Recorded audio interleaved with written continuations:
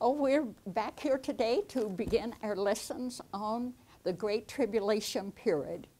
And now I, in chapter 6, we first of all, we have learned the six seals that's in here. And I am not going to go over it all the way, the way that I want to, but we have to repeat to understand what's happening. So this is, we have been raptured to be with the Lord in Revelation chapter 4. You have to understand that. And then this is when the Great Tribulation appears, after in chapter 6. And they have all of these just things that we do not use today. But in giving these out, they are all filled with all satanic powers, all demonic spirits. And this is why this great tribulation period has such awful things that happen. And I'm going to read just one or two to you because he says, And when he had opened the fourth seal, this is in chapter four, 6, verse 7. I heard the voice of the, this is amazing, the fourth beast. Now, see, these are beasts, they're called, but they're real people.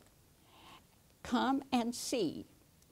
And I looked, and behold, a pale horse, and his name that sat on him was Death, and hell followed with him and power was given unto them over the fourth part of the earth. Now, this is what's going to happen. This is a blessing for you to know that these things are going to happen to all of those that worship this beast. And this is amazing. And this is the sword and with hunger. And this is amazing. The, the earth in hell, all of these things are doing things to you that should never be allowed to do. But they can't stop them in this age. And then with death and with the beast of the earth, this is what is happening at the very beginning of the Great Tribulation period. And that is all through here. Now, we're not going to give you all of these because it's important that we understand that this is happening right now. The book says, the Bible, the Word of God, is what we go by. And he says, listen at chapter 1 John 4, verse 3 and every spirit that confesses not that Jesus Christ is come into the flesh is not of God. And this is that, uh, uh, uh, listen at this, that is not, all of this is, uh, Antichrist is already here. You see, that's what he says, the Antichrist, whereof ye have heard that it should come, and this is more right now by, in the world that is full of Antichrist lies, satanic powers, and we're going to learn these words again in chapter. This is amazing. In chapter 21, he says, For us, now these go together. You have to understand the things that are happening to people that do not know Christ. And he says, and he that overcometh shall inherit all things, and I will be his God, and he shall be my people. But listen to the people that are living this time that we are in. And it says in chapter 21, verse 8, and the fearful and unbelievers and the abominable and murderers. If you hate somebody, you're a murderer, according to this word. And whoremongers, and sorcerers, and idolaters, and all liars. You can't tell a lie. God knows your heart. Everything you do shall have their part in the lake which burneth with fire and brimstone, which is the second death. You see, this is why I'm here to give this out in the last days. And we are, they're already here. And they're not obeying the Word of God. And this is breaking my heart. And then he says in 1 Corinthians, in 1 Corinthians chapter 12, verse 14, for the body is not one member, but many. Hereby know we, 1 John 4, 13, hereby know we that we dwell in him as believers now, and he in us because he hath given us of his spirit. 2 Corinthians 1:22 who hath also sealed us and given us the earnest of the Spirit in our hearts. We're sealed. Satan can't touch the true believers. And John 4 23, but the hour cometh and now is when true worshippers shall worship the Father in spirit and in truth, for the Father seeketh such to worship. And then we see in John 4 24, God is a spirit, and they that worship him must worship him in spirit and in truth. And he says, This is Hebrews 9:12 By his own blood he entered in once into the holy place having obtained eternal redemption for us. The blood is God's only purchase price of redemption for us. And then we are sealed and that's what we're going to learn in chapter 7 that I'm going to read. And listen what our ownership is ownership, security, and possession. And the Spirit of our God seals us with that Spirit. You see, this is what we need to know the Word of God. And I thank God for the opportunity to be here. Let's pray. Oh, our gracious and dear Heavenly Father, we come before the throne of grace to obtain mercy and to find grace to help in time of need. We come to the throne of grace to know the Word of God and to pray for those that have never received the blessings of being a son of God, an heir of God, and giving thanks unto the Father which hath made us meet to be partaker of his divine inheritance as saints of light, in whom we have redemption through his blood, even the forgiveness of sin. And we thank thee and praise thee this moment that today we are saints of light. And we're praying for those that have never received the Lord Jesus Christ to be brought out of darkness into light out of the power of Satan unto thee. Thank thee for hearing and answering our prayers. We pray for 100 fold every day, and we're rejoicing in victory. In Christ's name we pray. Amen. So today we are going to learn, as we have already been over this a little, and you cannot just have this one time, you have to study it and study it.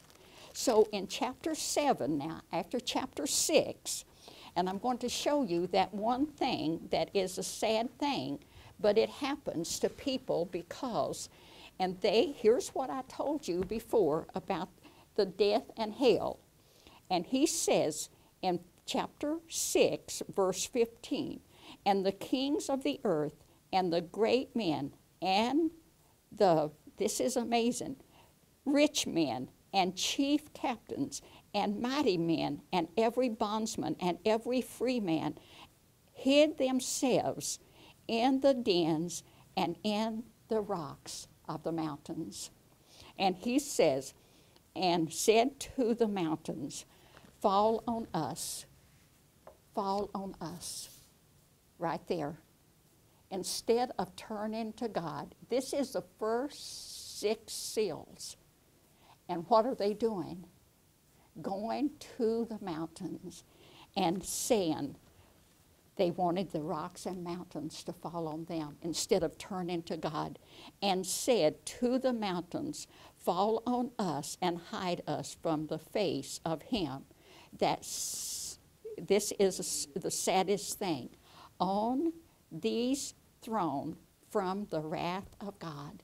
For the great day of his is to come, is here right now. Now, this is a, major, a lesson that we all have to learn about and to know how great our God is. And everything He gives to us is ours. We are His inheritance after we become a child of God. And for by grace are you saved through faith, and that not of yourselves, it is a gift of God, not of works, lest any man should boast. Right here, all you have to do for by grace are you saved through faith, and that not of yourselves. It is a gift of God, not of works, lest any man should boast. So now, after this, God gives a break in chapter 7. And what he is doing, he is sealing, just like I said before, this is his sealing for everybody that has been born again ownership, security, and possession. And here, what happened in chapter 7 hurt not the earth, neither the sea, nor the trees, all we have sealed, the servants of God. The 144,000 Jewish people had to be sealed to serve the Lord during the seven year period.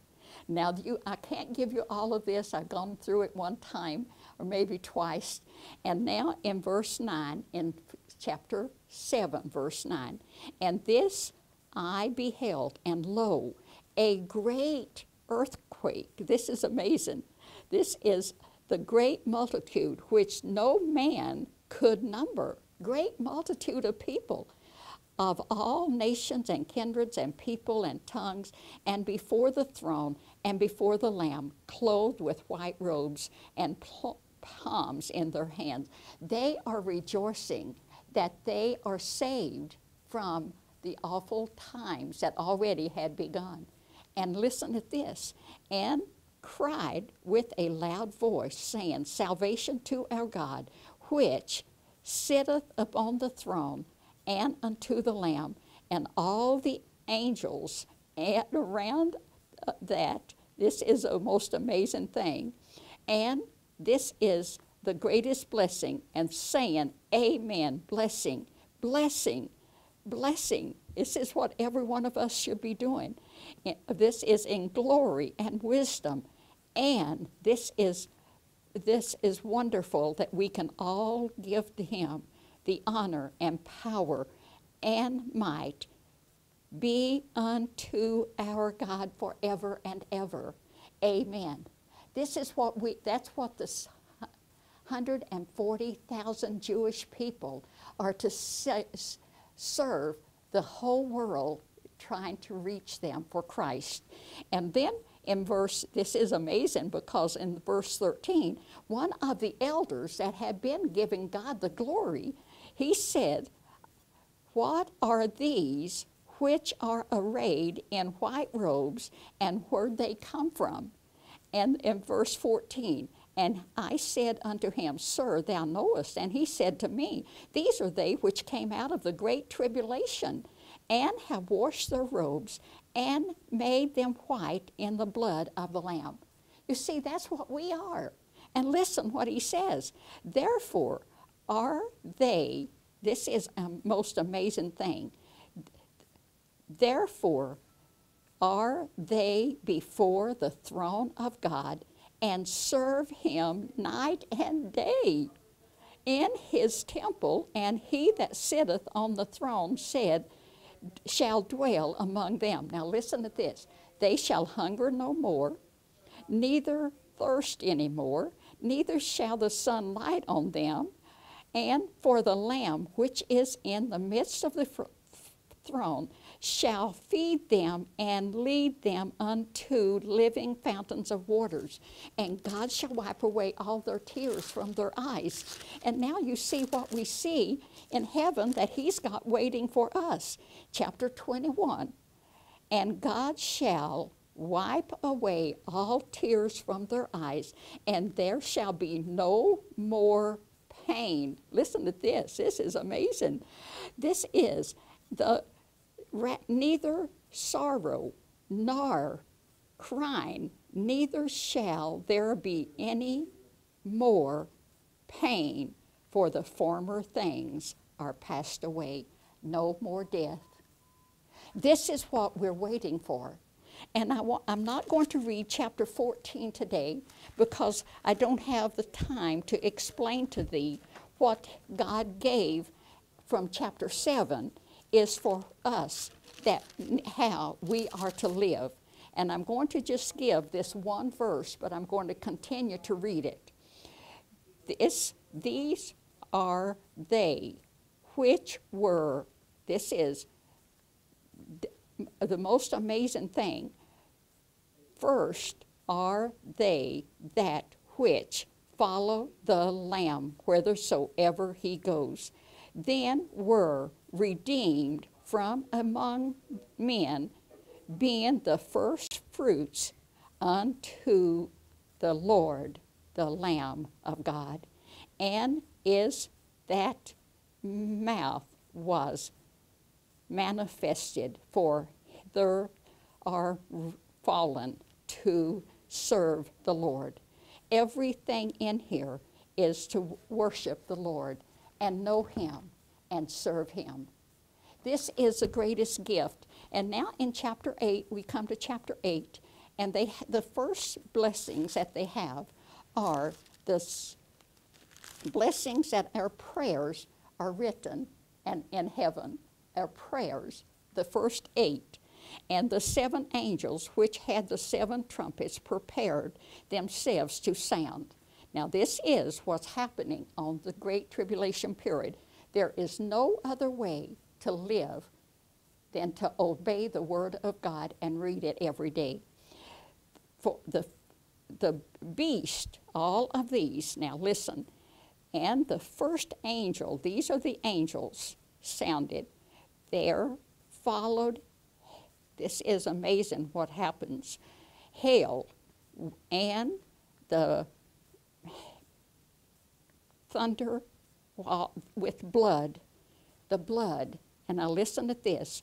And they cast their, upon the earth, and the part of the trees were burnt up, and all green grass was burnt up. And the second angel sounded, and as it were, a great, listen to this, mountain burning with fire was cast into the sea, and the third part of the sea became blood. These are things that's going to happen just after these 144,000 are reaching the people that are there. And then it says, and the third part of the creatures which were in the sea and had life died, and the third part of the ships went dismayed, uh, gone.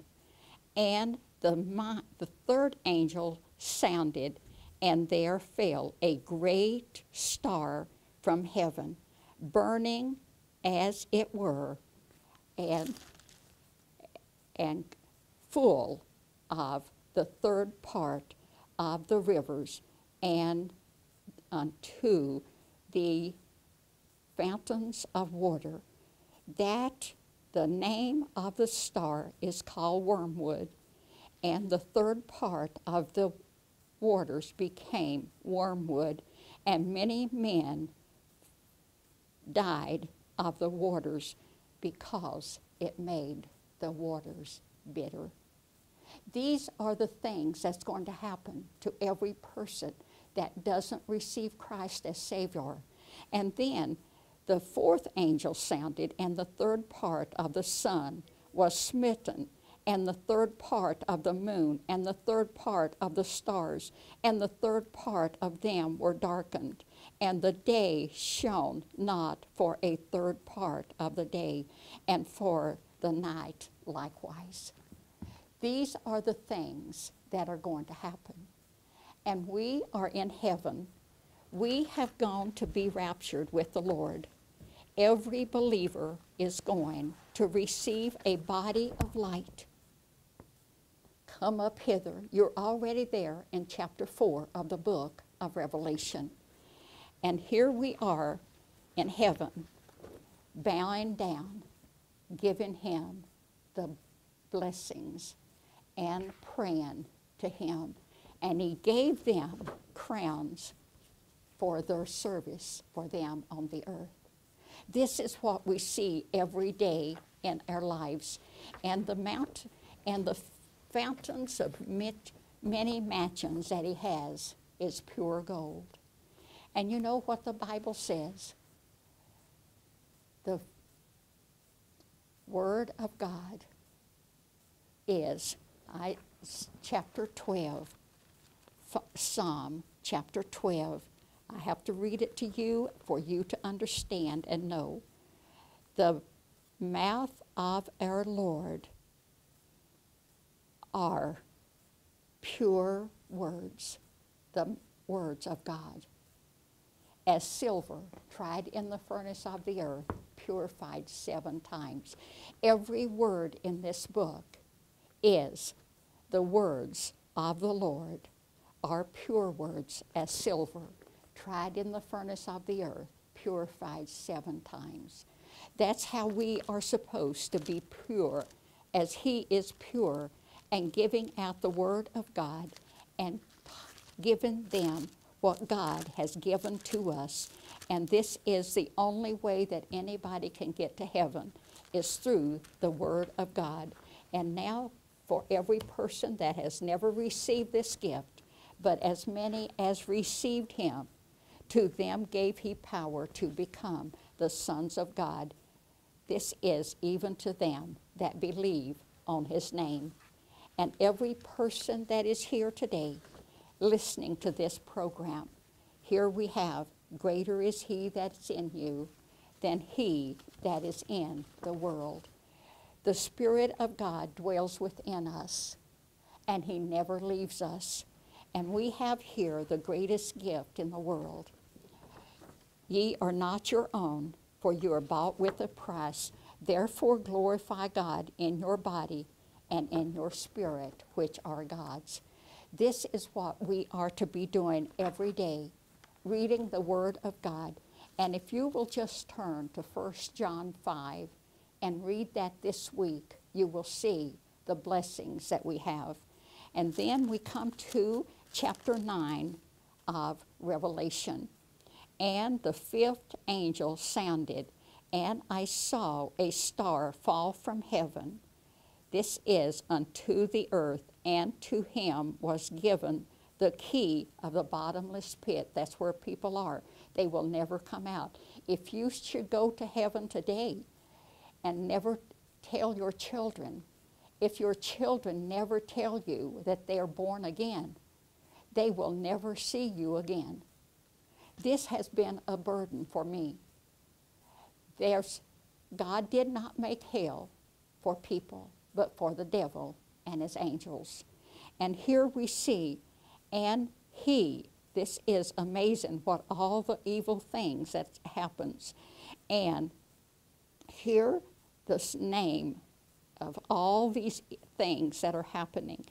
And now, all of this, and in them it was given that they should not kill them, but that they should be tormented five months, and their torment was as the torment of scorpions when he maketh smiteth a man. This is what, and in thine thy those times shall men seek death and shall not find it and shall desire to die and death shall flee from them but we see in all of these lessons and has come out of the most powerful words that they are going to kill all the people that are there. This is the most heartbreaking lessons, and the animals all father around.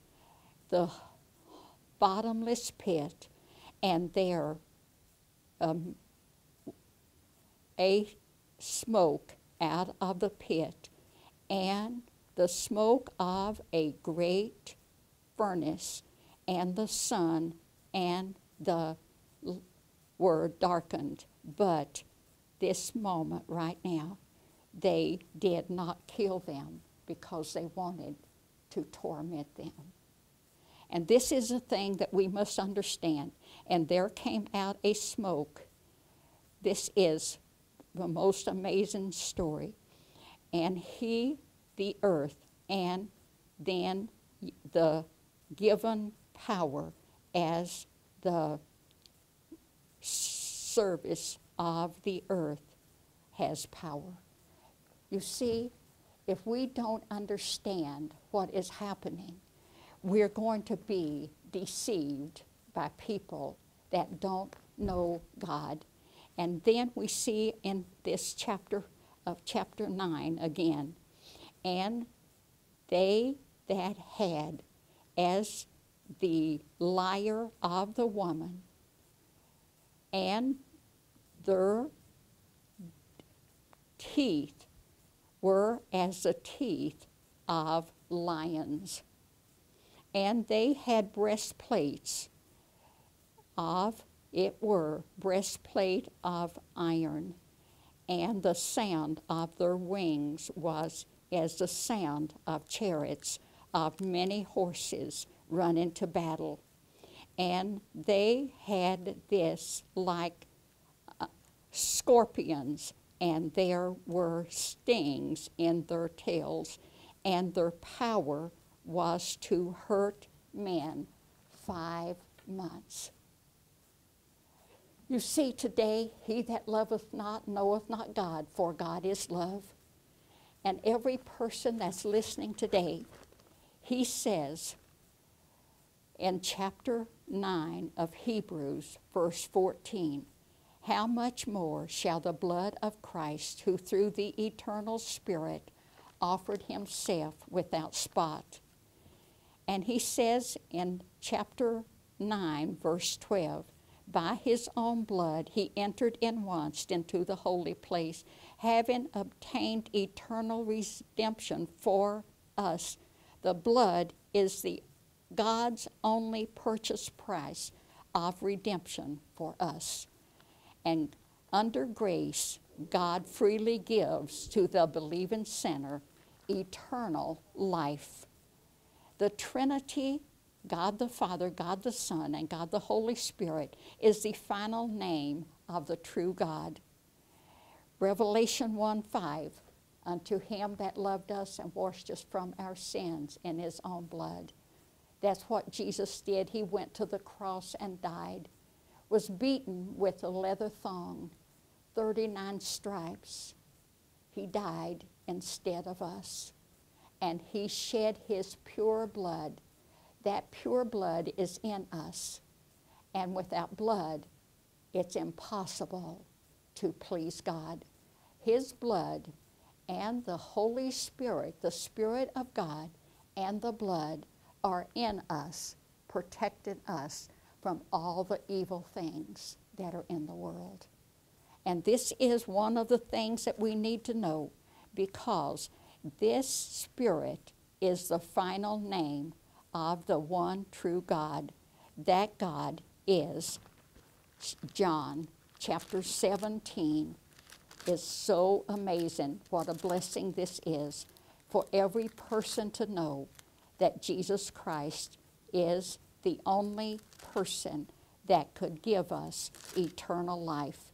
And it says, Show us the way unto him that giveth us eternal life. That's the only way we can get to heaven, is through the blood of Jesus Christ. Jesus Christ gave us his Son. His Son gave us his life so that we could have eternal life. There is nothing else in this world for any person. And as you read these words, you can understand how great God is. You see, here's we have God the Father, God the Son, and God the Holy Spirit. But until we are born of the Spirit, we only have a body and a soul. Our spirit has to be in us. Thank you for hearing our prayers today, and we pray for 100 fold. Call upon Him now to give you victory over all sin.